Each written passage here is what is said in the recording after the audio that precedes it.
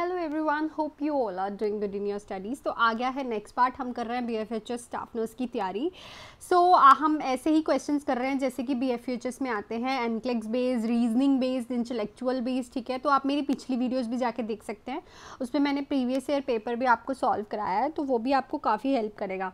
ऐसे ही क्वेश्चन पढ़ने का फ़ायदा है डायरेक्ट क्वेश्चन पढ़ने का कोई फ़ायदा नहीं है और अगर आप ऐसे ही क्वेश्चन का पीडीएफ मेरे से लेना चाहते हैं तो आप ले सकते हैं वन में और अगर किसी बच्चे ने थ्योरी अभी तक पढ़ी नहीं है और किसी को चाहिए कि मेरे को एकदम एग्जैक्ट पॉइंट्स चाहिए जो कि पेपर में आते हैं दैट इज़ गोल्डन पॉइंटर्स तो आप भी मेरे को, मेरे से वो ले सकते हैं। बहुत ही कम अमाउंट में that is ninety nine rupees पर अगर आप दोनों चीज़ें साथ में लेते हैं पीडीएफ एंड गोल्डन पॉइंटर्स तो आपको only two forty nine rupees में वो पड़ेंगे जो कि बहुत ही ज़्यादा अफोर्डेबल हैं।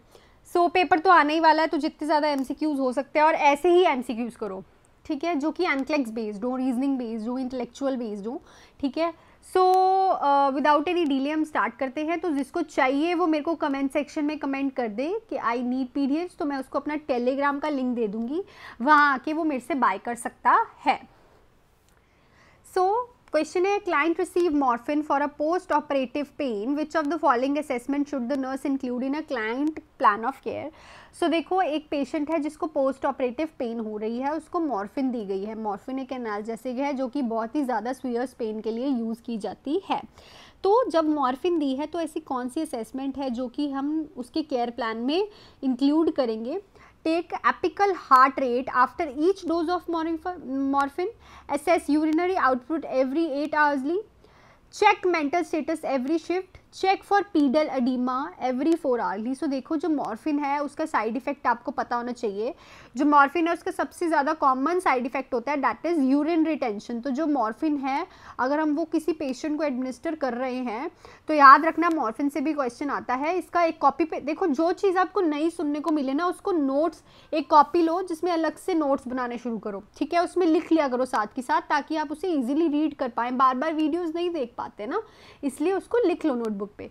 तो मॉर्फिन का मोस्ट कॉमन साइड इफ़ेक्ट होता है यूरिन रिटेंशन तो हम जो चीज़ इंक्लूड करेंगे क्लाइंट के केयर प्लान में दैट इज़ असेस करना urine retention output every eight hourly जिससे हमें पता चल जाएगा कि, कि कहीं मॉर्फिन का साइड इफ़ेक्ट तो नहीं हो रहा पेशेंट को कहीं यूरिन रिटेन तो नहीं कर रहा ठीक है? नेक्स्ट पे चलते हैं। 15 minutes after a client experience an eclampsia seizure, the nurse should assess the client for which of the following? तो 15 मिनट के बाद जब क्लाइंट एक्सपीरियंस करता है एक सीजर ठीक है? सीजर एक्सपीरियंस किया उसने क्लैम्शिया था उसको, उसने सीजर उसको अभी सीजर आया। तो उसके 15 मिनट बाद नर्स क्या चीज़ चेक करेगी? Polyuria facial flushing hypotension uterine contraction so देखो, ये एक चीज़ इसमें छूट गई है दैट इज़ प्रेग्नेंट वुमेन आएगा यहाँ पे आप लिख लेना ठीक है? जब एक प्रेग्नेंट वुमेन होती है ठीक है फिफ्टीन मिनट्स आफ्टर उसके आ, उसको सीजर्स हुए हैं क्लैम्शिया में सीजर्स हुए हैं ठीक है? तो पंद्रह मिनट बाद हम क्या चेक करेंगे? ऑब्वियसली अगर वो प्रेग्नेंट है तो हम क्या चेक करेंगे? उसकी यूट्राइन कॉन्ट्रैक्शन क्योंकि सीजर्स के बाद ना एकदम से पेशेंट जो है वो स्लीपिंग मोड में चले जाता है कॉमा में चले जाता है ठीक है? तो क्या होता है कि जब वो स्लीपिंग मोड में जाता है तो जो उसकी कॉन्ट्रैक्शंस होती हैं, वो उसको फील नहीं कर पाता वर्बली हमें बता नहीं पाता, ठीक है?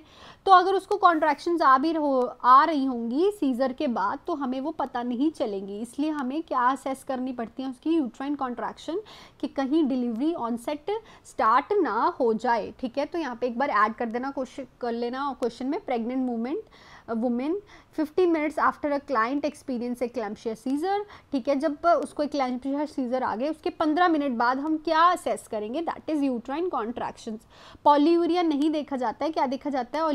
Oliguria flushing face and hypotension नहीं है इन दोनों से। लिंक्ड सो वो नहीं होता। फ्लशिंग फेस ज़्यादातर तब देखा जाता है जब वजाइजल ब्लीडिंग हो रही है। पेशेंट जो है वो शॉक में जा रहा है, ठीक है? हाइपोटेंशन भी शॉक का साइन होता है। ठीक है? तो इस चीज़ को याद रखना कि यूट्राइन कॉन्ट्रैक्शन हम उसमें चेक करेंगे। नेक्स्ट भी ओबीजी का क्वेश्चन है इंपॉर्टेंट है when caring for a multigravida client admitted to the hospital with vaginal bleeding in 28 week of gestation which of the following would the nurse anticipate administering intravenously if the client develop disseminated intravascular coagulation so देखो question को अगर आप ध्यान से पढ़ोगे question वैसे देखने में बड़ा लग रहा है। बी एफ़ यू चीज़ का ना यही चीज़ होती है। बच्चा क्वेश्चंस देख के ही डर जाता है।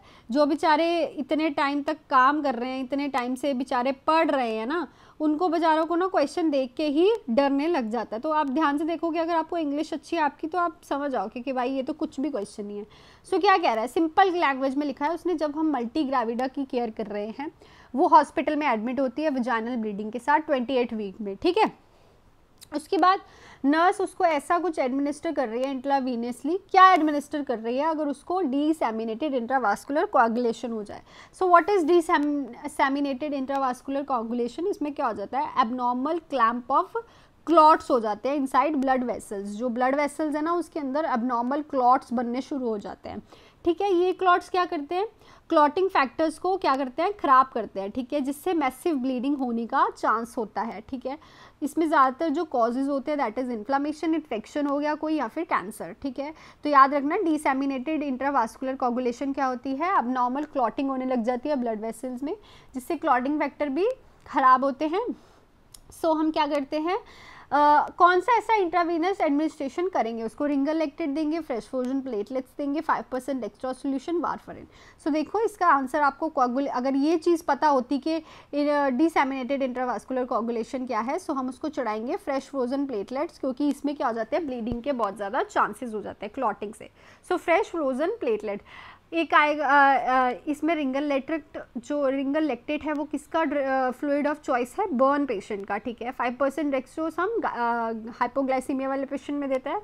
वारफरिन अलग चीज़ है, ठीक है? वारफरिन तो इन सब चीज़ों को देख के, पढ़ के, इजीली अगर आपको एक इंपॉर्टेंट उसका वर्ड मिल गया ना तो आप इजीली क्वेश्चंस को टिक कर सकते हो।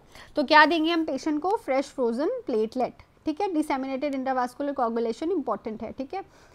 Next day is if the wife of a client diagnose with paranoid schizophrenia visit two days after her husband admission and states to the nurse while drinking eating he is still talking about his food is being poison which of the following appraisal by the nurse is most appropriate तो एक paranoid schizophrenic patient है, ठीक है? उसकी wife जो है, दो दिन बाद आती है एडमिशन के हस्बैंड के। और वो कहती है कि जब अभी भी अगर ये कुछ खा रहे हैं पी रहे हैं तो अभी भी कह रहे हैं कि इनका जो वो खाना है और पीना है वो क्या है? पॉइजन किया हुआ है इसलिए वो नहीं खा रहे कुछ भी। ठीक है? तो नर्स क्या बोलेगी? ठीक है? सो वाइफ आई है हस्बैंड पैरानॉइड स्कीजोफ्रेनिया वाला है। सो so, इसमें क्या हस्बैंड शो कर रहा है? फॉल्स डिल्यूजन, फॉल्स बिलीव, ठीक है? पैरानॉइड मतलब शक कर रहा है कि जो मैं खाना पीना है, इसीलिए नहीं वो खा रहा क्योंकि उसको लग रहा है वो पॉइजेंड है। तो नर्स क्या बोलेगी? The wife inquiry is reasonable education about her husband medication is needed her expectation for her husband are realistic and increase in the medication is indicated. So देखो, अगर आपने क्वेश्चन ध्यान से पढ़ा तो आप देखोगे कि अभी जो पेशेंट है, वो दो दिन ही हुए हैं उसको एडमिट होने में। साइकेट्रिक वाला पेशेंट दो दिन में रिकवर नहीं कर पाता, ठीक है ना? अगर आपने क्वेश्चन पढ़े हैं। क्वेश्चन पढ़ा ध्यान से। ये देखो, यहाँ पे लिखा है visit two days after her husband admission अभी दो दिन ही हुए हैं। इतनी जल्दी तो उसके जो इतने फॉल्स एंड फिक्स्ड बिलीव होते हैं डिल्यूजन के, वो तो ठीक नहीं हो सकते पैरानॉइड वाले पेशेंट के। तो हम उसको क्या करेंगे? इट मीन्स कि उस लेडी को, उसकी वाइफ को एजुकेशन की नीड है, जो उसकी मेडिकेशन चल रही हैं। मे बी ये सबसाइड हो जाए in nine to fifteen days पर दो दिन के अंदर अंदर इतने फॉल्स फिक्स बिलीव जो हैं, उसके नहीं जाएँगे। तो हम उसको एजुकेट करेंगे हेल्थ कंडीशन के बारे में डिसीज़ कंडीशन के बारे में, उसकी मेडिकेशन के बारे में। जो इंक्वायरी है वो रीज़नेबल इसलिए ही नहीं है, क्योंकि रीज़नेबल तभी होगी ना अगर हमें पता होगा, अगर वो उसको टाइम हो चुका होता, अगर वो दो वीक से हॉस्पिटल में होता तो तो ये क्वेश्चन उसका पूछना बनता था रीज़नेबल था। हर एक्सपेक्टेशंस इतनी जल्दी एक्सपेक्टेशंस एक साइकोटिक पेशेंट में, जो कि एबनॉर्मल मेंटल हेल्थ है जिसकी, उससे हम एक्सपेक्टेशंस दो दिन के अंदर अंदर नहीं रख सकते। That is not realistic and increase in medication increase तो तब करेंगे जब हम एक कुछ टाइम पीरियड के बाद, उसके बाद इम्प्रूवमेंट नहीं दिखेगी, ठीक है? इट मीन्स हमें वाइफ को समझाना पड़ेगा कि अभी दो दिन ही हुए हैं एडमिशन के, इतनी जल्दी मेडिकेशन वर्क नहीं करती। मेडिटेशन मेडिकेशन देने के बाद वर्क लेना पड़ेगा। नाइन टू फिफ्टीन डेज़ में जो है वो ठीक हो जाएगा। सो क्वेश्चन का फिर से एक ट्रिकी क्वेश्चन था। क्या था? टू डेज़ सो क्वेश्चन ध्यान से पढ़ा करो और ऐसे ही क्वेश्चन आपको प्रैक्टिस करने हैं। ऐसे ही क्वेश्चन का पीडीएफ लेने के लिए आप मेरे से कॉन्टैक्ट कर सकते हैं। कमेंट सेक्शन में मेरे से पीडीएफ ले सकते हैं और गोल्डन पॉइंटर्स भी ले सकते हैं। अलग अलग लेने से अच्छा आप साथ में ले लो, आपको ऑफ़र में मिल रहा है टू फोर्टी नाइन में, नहीं तो अकेले P D F one ninety nine में और गोल्डन पॉइंटर्स नाइन्टी नाइन में। गोल्डन पॉइंटर्स बहुत ज़्यादा इंपॉर्टेंट है क्योंकि कभी कभी हमारी कोई डिसीज़ कंडीशन छूट जाती है या फिर कोई पॉइंट हमने कहीं भी नहीं पढ़ा होता, ठीक है? तो वो आपको डायरेक्टली मिल जाता है। सो नेक्स्ट है when preparing the teaching plan for a client who is to start pine which of the following is a crucial is crucial to include to हम एक टीचिंग प्लान जो है क्लाइंट के लिए रेडी कर रहे हैं जिसने कोलाजेपाइन लेनी स्टार्ट की है क्लोजेपाइन क्या है ए टिपिकल एंटीसाइकोटिक ड्रग है ठीक है तो ऐसा कौन सी चीज़ है जो इंक्लूड करेंगे जो कि क्रूशियल है इंपॉर्टेंट है description of akathisia and drug induce Parkinson in measures to relieve episode of diarrhoea the importance of reporting insomnia and emphasise on a need for weekly blood test so देखो, सबसे पहली बात तो मैंने आपको एक बार ना कुलाजेपाइन का एम सी क्यू करा रखा है, मुझे याद है मेरी पिछली वीडियोज़ में। तो मैंने आपको बताया था, ये ऐसी ड्रग है जिसका ज़्यादा कोई साइड इफ़ेक्ट नहीं होता, बस एक होता है दैट इज़ ए ग्रेनुलोसाइटोसिस ए ग्रेनुलोसाइटोसिस तो ए ग्रेनुलोसाइटोसिस हमें जल्दी से जल्दी डिटेक्ट करने के लिए उस पेशेंट को क्रूशियली बोलना पड़ेगा कि तुझे वीकली ब्लड टेस्ट कराना ही कराना है अगर तू ए टिपिकल एंटीसाइकोटिक ड्रग ले रहा है, जो कि है कुलाजे पाइन ठीक है? सो इस पेशेंट के लिए हमें ये क्रूशियल है कि उसका वीकली ब्लड टेस्ट हो ताकि हमें टॉक्सिसिटी और साइड इफ़ेक्ट के बारे में एग्रेनुलोसाइटोसिस के बारे में पता चलता रहे। ठीक है? रिलीफ एपिसोड ऑफ़ डायरिया इसमें नहीं होता इंसोमनिया भी इसमें नहीं है पार्किंसनिज्म भी इसमें इंक्लूडेड नहीं है बिकॉज़ ये antipsychotic a typical antipsychotic drug है। नेक्स्ट पे चलते हैं। Of the following is a realistic short term goal to accomplished in two to three days for a client with delirium तो एक डिलीरियम का पेशेंट है। दो दिन दो तीन दिन के अंदर हमें ऐसा कौन सा गोल है जो बनाना है जो कि हमें अकम्पलिश करना है मतलब उसको सक्सेसफुल करना है? डिलीरियम वाले पेशेंट में। सो so, डिलीरियम आपको पता ही है शॉर्ट टर्म मेमोरी लॉस होता है पेशेंट का ओरिएंटेड नहीं रहता अनकॉन्शियस हो जाता है थोड़े टाइम के लिए। तो ऐसा शॉर्ट टर्म गोल दो तरह के गोल्स होते हैं ना long term and short term long term मतलब जो कि बहुत टाइम लेंगे उसका रिहेबिलिटेट होने के लिए, उसकी प्रीवियस स्टेट में आने के लिए, जैसा वो हेल्दी था। शॉर्ट टर्म मतलब हमें उसे थोड़े दिन में ही रिकवर करना है। तो ऐसा कौन सा गोल होगा जो हमें अकम्प्लिश करना है? Explain the experience of having delirium resume a normal sleep wake cycle regain orientation to time and place establish normal bowel and bladder function सबसे पहले दो तीन दिन में हमें उसकी orientation to time and place जो है वो gain करनी है most and most important क्योंकि delirium वाला patient oriented नहीं रहता ठीक है अगर वो टाइम एंड प्लेस से हमें उसको जल्दी से ओरिएंट नहीं कराया तो वो क्या करेगा उसका जो वर्किंग पैटर्न है वो ख़राब हो जाएगा पार्टिसिपेशन पैटर्न जो है उसका, उसके ट्रीटमेंट में वो ख़राब हो जाएगा, क्योंकि उसको लगेगा आज वो मेडिसिन लेके जाएगा, आज वो कुछ काम करेगा, नर्स के साथ अपनी चीज़ें शेयर करेगा, और कल आके बोलेगा, मैं तो यहाँ पे था ही नहीं। तो सबसे पहले जो दो तीन दिन में हमें इंकम्प्लिश करना होता है, उसकी जो ओरिएंटेशन है टाइम एंड प्लेस की, उसको स्टेबलाइज करना होता है, उसको गोल को मेनटेन करके, उसको आउटकम उसकी निकालनी होती है कि हम ये शॉर्ट टर्म गोल बनाएँगे, और इसको रियलिस्टिक कंप्लिश्ड करना है हमने डिलीरियम वाले पेशेंट में। यहाँ पे अगर डिमेंशिया भी होता तब भी हमने यही करना था। ठीक है तो याद रखना। आज हम थोड़े से कैट्रिक के क्वेश्चन ज़्यादा कर रहे हैं बिकॉज़ कैट्रिक वेटेज लेती है बी एफ़ में अच्छी खासी। सो so, हमारा नेक्स्ट क्वेश्चन है client who is depressed state एक डिप्रेस स्टेट में क्लाइंट है वो कह रहा है I am awful person everything about me is bad. I can't do anything right because, which of the following response by the nurse is most therapeutic? So, एक client बोल रहा है डिप्रेस्ड स्टेट में कि मैं सबसे ऑफुल पर्सन हूँ, बेकार पर्सन हूँ, मेरे बारे में सब कुछ बेकार है और मैं कुछ भी ठीक नहीं कर सकता। तो नर्स क्या रिस्पॉन्स करेगी? इसका मतलब इस स्टेट में हम देख रहे हो, इस स्टेटमेंट में पर्सन की आप देख रहे हो, ये वाली जो उसकी स्टेटमेंट है कि वो पेशेंट जो है, उसकी जो इनसाइट है वो बिल्कुल ही डल हो चुकी है। वो खुद को सेल्फ एस्टीम जो इसकी बिल्कुल फिनिश्ड है। तो अब नर्स क्या रिस्पॉन्स करेगी? Everybody around here likes you I can see many good qualities and in you let's discuss what you have done correctly you are able to bath today so देखो, सबसे important अब ये confusion वाला question है। अगर आप देख रहे हो तो इसमें सबसे पहली बात तो हम उसको कंपैरिजन नहीं करेंगे। So everybody around you I can see the qualities अगर तुम उसे ये सारी चीज़ें बताओगे ना, ये वाली तीन चीज़ें बताओगे तो पेशेंट इस चीज़ को सुन के और ज़्यादा डिप्रेस्ड हो जाएगा। कैसे?